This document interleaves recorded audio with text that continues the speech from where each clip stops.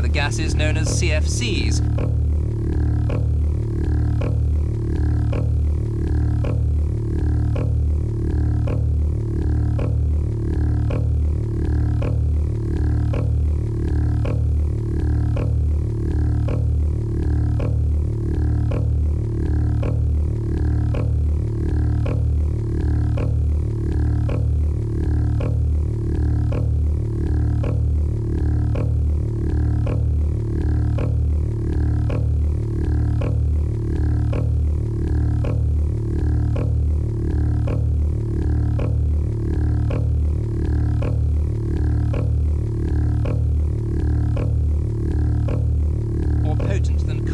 In causing and more potent than carbon dioxide in causing and more potent than carbon dioxide.